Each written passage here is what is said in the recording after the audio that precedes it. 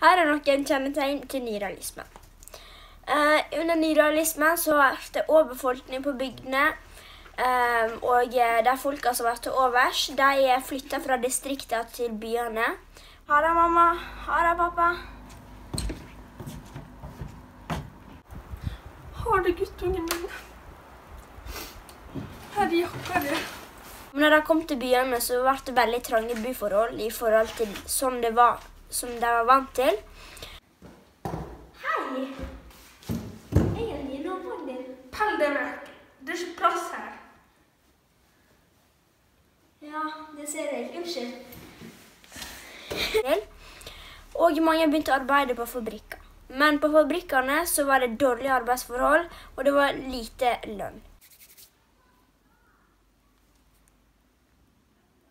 Seriøst? Altså, jeg har jobba tolv timer hver dag hele denne uka. Og så er det én skilling som er det eneste jeg får. Det er standardlønning. Og for å få endene til å møtes, så begynte mange med prostitusjon. Og barna begynte med barnearbeid, som ikke er lov i dag. Gå til arbeid nå.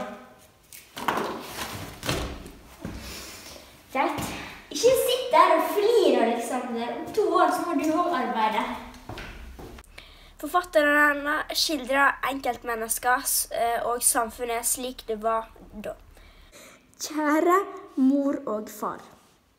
Jeg har nettopp kommet hjem fra butikken, og jeg fant ut at jeg glemte Nugatti-boksen. Dette tror jeg blir en stor skuffelse i heimen, særlig fordi at jeg klarte å bruke opp alle de få pengene som jeg har jobba for denne måneden. LO ble stifta, og eh, det håpte på et mer menneskevennlig samfunn. Og eh, det som var, var at jeg var veldig eh, begeistra over eh, den russiske revolusjonen. Stå på! Ja, woho! Og kommunisme, fordi de håpte på at eh, det var løsningen til et nytt samfunn. Oskar Bråten var forfatter i nyrealismen, og han levde fra 1881 til 1939. Han var en arbeiderklassedikter som ville styrke kampviljen til arbeiderne. Og han var òg en heimstaddikter. Og han skrev masse om eh, hvordan det var å vokse opp eh, rundt fabrikkene og eh, rundt fabrikkene ved Akerselva på østkanten i Oslo. Han eh, skrev òg om eh, miljøet og varmen i miljøet. Og han skrev om enkeltmennesker. Han har eh, skrevet et skuespill som heter Ungen som vi skal ta for oss nå. Mm, ungen er et skuespill som er skrevet av Oskar Bråten. Eh, ungen, altså skuespill, det handler om ei jente som heter Milja, som jobber på en fabrikk, en dag, fabrikk dagen lang, og ikke har tid til noe. Hun kom i noe som de kalte ulykka, der hun fikk barn utenfor ekteskap med en fyr som heter Julius. Julius gikk fra Milja, for hun ville ikke ha noe med henne å gjøre. Som da resulterte med at hun var igjen med ungen alene. Ja, se på han, Julius. Han er jo så nydelig. Jo, det er du. Jo, det er du. Ha det Fanden ta deg, Julius. Dette får ikke du stikke av fra. Julius prøver å søke kontakt med henne for å få henne tilbake, fra angrepet valget han gjorde. Um, Milja hun jobber som sagt på fabrikker. Da jobber hun med andre kvinner som også har fått unge kvinner som også har fått unger utenfor ekteskap. Og der er hun liksom De har en omsorgsperson som heter Høns Louisa. Uh, hun tar vare på alle ungene mens de jobber på fabrikkene. Og hun er som sagt omsorgsperson. Mm, I skuespillet så prøver Julius å få tilbake Milja, og han viser seg for å være en fyllik, som vi får lese flere, noe, et par ganger i teksten. Jeg vil ikke ha deg tilbake. Det oser fyll av deg. Fysj a meg hvor du stinker. Pell deg tilbake igjen. For meg. Jeg sa at du vil ikke ha tilbake pappaen din. Jeg sa at du vil ikke ha tilbake pappaen din.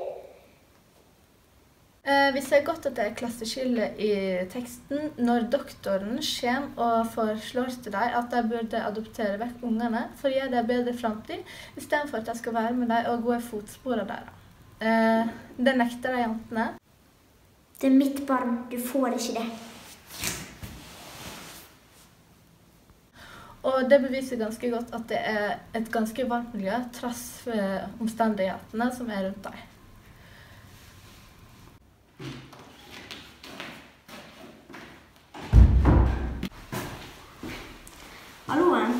Du får sette deg der. Ja, du får ta meg med bok, jeg. Hei, du.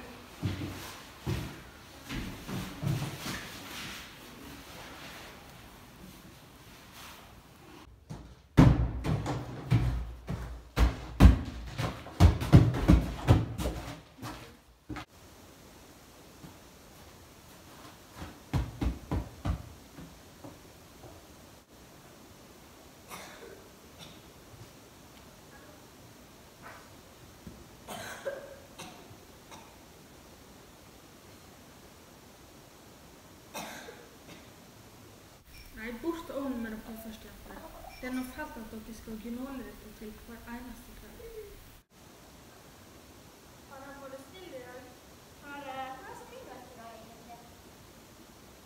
Nei, jeg har ikke hørt et ord fra deg i hele dag. Guttungen er blitt bedre nå, da. Tror du han klarer dette? Nei, han har vært rolig i dag. Han står nok over. Ja, han gjør vel det. Nei, du får ikke ta det slik, jente. Du får stole på vår Herre, Olina. Det nytter ikke for meg. Jeg har prøvd det. Han hjelper alle som ber. Ja, men jeg vil ikke krype. Jeg har ingenting å be for. Det er noe farlig å snakke slik for deg som går med døden på leppene. Ja, jeg vet det er farlig. Men jeg sier det igjen. Hvorfor skal jeg ligge og krype? Har jeg så mye å takke for? En stor takk til høna Tone. Hønse Lovisa. Julius. Olina. Krestna. Sersjant Petra. Milja. Ungen med tuberkulose. Alexander Johansen. Tusen takk for lånet av Massdalen skole, som ble nedlagt for mange år siden. Vi har valgt å sammenligne Ungen og Revolusjonsrøst. Begge tekstene handler om arbeiderklassen. Hei hå, hei hå, håpet lista nå. Hei hå, hei hå, hei hå, hei hå. I Ungen så handler det om elendighet.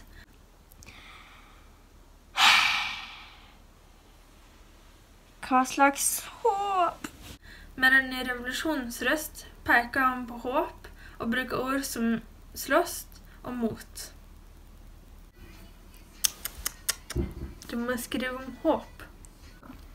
Det var et spørsmål om denne teksten fortsatt kunne være relevant i dag. Og det tror jeg den på sett og vis er, fordi at i teksten så kom det fram at eh, Julius var en fyllik. Og jeg vil si at vi har ganske mye rus og eh, eh, fylle på, i samfunnet vårt eh, i dag, eh, så det er nok relevant i dag. Og så det å være alenemor og ha barn utenfor ekteskapet er vel ikke så krise i dag som det var da, fordi vi har fått ganske mye um, sos Eller det er liksom alltid sosial støtte og um, sykehus de kan gå til uh, hvis barnet er sykt, eller de kan få pengestøtte om de trenger det.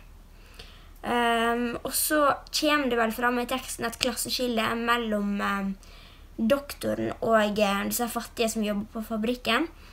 Uh, I vårt samfunn så har vi et uh, klasseskille i Norge, i hvert fall. Og um, der vi har noen som lever under Eller akkurat på fattiggrensen, som vi kaller det. Og så har vi veldig rike. Så vi har en forskjell mellom veldig rike og ganske fattige. Um, vi har, men vi har jo Nav og sånt, så vi har hjelpe- og trygdeordninger for dem om de skulle trenge det. Og så um, var det det at det var, de jentene hadde redsel for at doktoren skulle komme og ta fra dem barna fordi at de ikke, eller de ikke hadde noe å tilby. Som var, eller at det de hadde å tilby, var ikke bra nok. Um, I dag så har vi vel en slags redsel for det òg, for vi har jo um, barnevernet som kommer og tar, uh, henter barna om eh, noen ikke gir barna det de har behov for. Eller det, det er for dårlig der. Så jeg vil si at teksten er veldig relevant på sett og vis som i dag òg.